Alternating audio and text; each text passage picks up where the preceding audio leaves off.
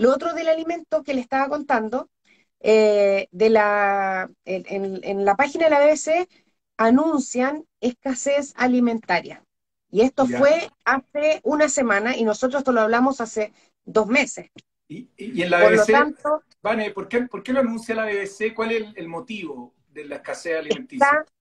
están diciendo, mira, si lo tengo incluso acá, están eh, pidiendo a la gente que reduzca sus, eh, el consumo de alimentos y que guarde alimentos. ¿Ya?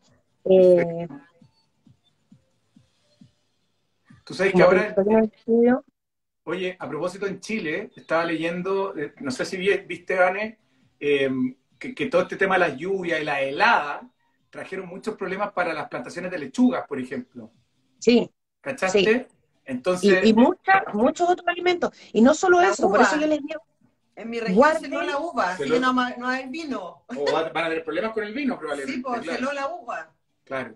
Entonces, eh, lo que yo les digo, eh, aquí dice, el, en, el Times dice, ONU alerta de catástrofe por escasez global de alimentos. ¿Se acuerdan que ese día yo les decía, chiquillo, no es eh, nada político, no es recesión, no, es a nivel mundial. Y bueno, después sale esta noticia, eh, que es de la BBC, pero acabo de encontrar una en el Times también, donde dice que existe un riesgo real eh, de que, y esto lo, declara la ONU, existe un riesgo real de que en el 2022 se declaren múltiples hambrunas. Eh, eh dice, el 2023 podría ser incluso peor. Oye, y esto salió ahora, ¿no? ¿De cuándo esa publicación, Vane? Déjame ver si me aparece la fecha acá, aquí, aquí, aquí. 24 de junio, más o menos, ¿no? 24 de junio del 2022. Y esto tú lo dijiste mucho antes en el programa nosotros, cuando viniste para acá a la casa. Sí, me, acuerdo, perfecto.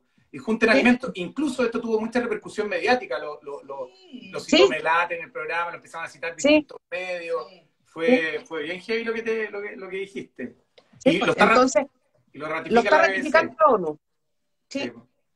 Entonces, eh, junten alimentos, eh, miren, como dato, yo el otro día, bueno, yo estoy en gira, de hecho estuve en Iquique, que les mando un besito, Serena les mando un besito, Santiago besito, Conce, y ahora este viernes me voy a Puerto Montt. Estoy, estoy de gira eh, por Chile. Y yo siempre les digo, antes de terminar, que, que junten alimentos, no, eh, o sea, que junten de a poco, porque cuando ya esto lo anuncien, esto se vea, va a ir al supermercado y va a encontrar con suerte confort Claro. Entonces, es, lo que empieza a pasar cuando,